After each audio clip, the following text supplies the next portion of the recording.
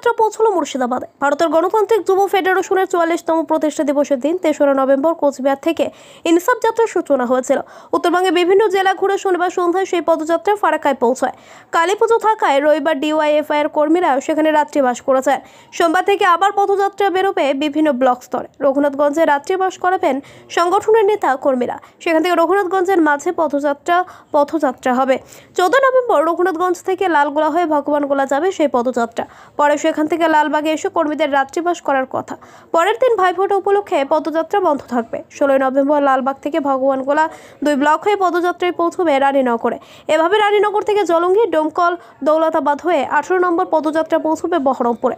পরের দিন বহরমপুর থেকে নবগ্রাম হয়ে সেই পথযাত্রা করগ্রাম পৌঁছানোর কথা বলে সংগঠনের সূত্রে জানা গিয়েছে।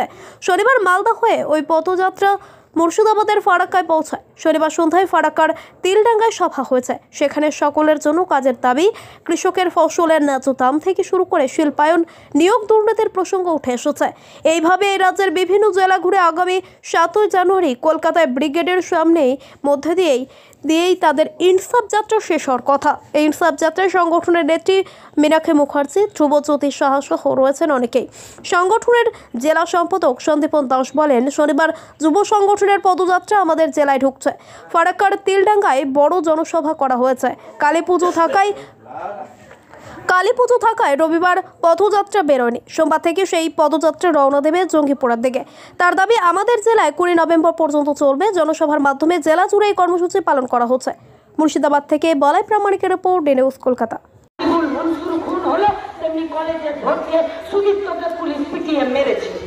হ্যাঁ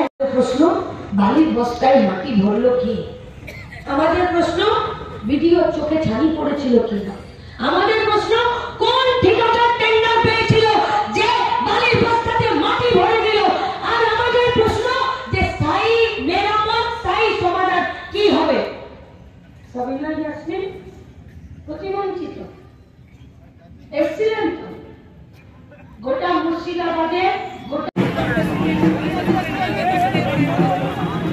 প্রশ্ন